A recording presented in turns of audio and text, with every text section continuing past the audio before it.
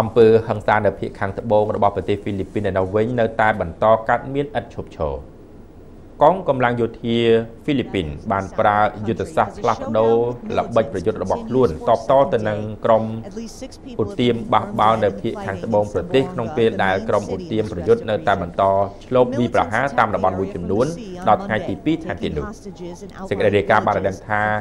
នៅក្នុងការប៉ះប្រយុទ្ធគ្នារយៈពេល2ថ្ងៃមកនេះបានធ្វើឲ្យមនុស្សចំនួន6នាក់ស្លាប់នៅក្នុងពេលវាប្រហារនៅក្នុងតំបន់ Zangbuga នឹងត្រូវបានគេជឿថាមានមនុស្សរាប់សិបនាក់ផ្សេងទៀតត្រូវរងរបួសអញ្ញាធននៅក្នុងតំបន់បន្តថា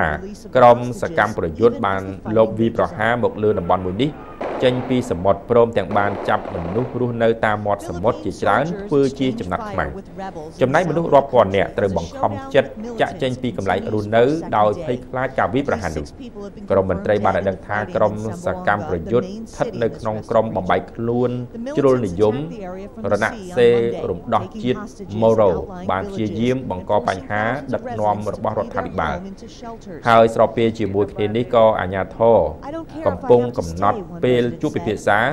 ឲ្យមានការដោះលែងចំណាត់ខ្មាំងមកវិញផងដែរ